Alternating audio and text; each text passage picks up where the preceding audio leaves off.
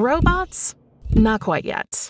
But technology has a habit of changing quickly. For humans seeking longer, healthier lives with less toil, people are developing humanoid robots. Robots will be in our homes, so they must understand the world as we do.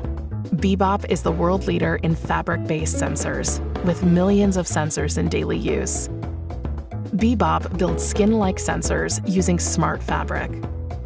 Bebop's RoboSkin provides a human like nervous system over any part of a robot. Dexterous sensing for fingers and hands is required for robots to take on human tasks. Humanoid robots with fabric sensing will be able to fit through our doors and use our tools. They will not require a special environment to be built around their needs. Our RoboSkin has spatial resolution and sensitivity that meets or exceeds human abilities. Responsive surfaces make manipulation of items natural.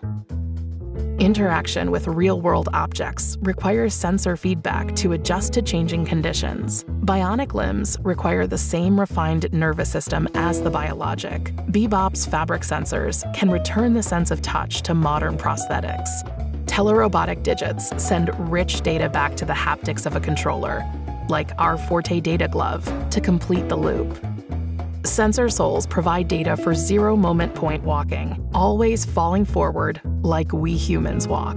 CareBots moving through human hospitals will sense safety issues, such as IV tubes under their feet. Robots will continue to grow in capability, intelligence, and empathy, making them more useful and more dear. Bebop brings the world of touch to our creations, making robots feel better.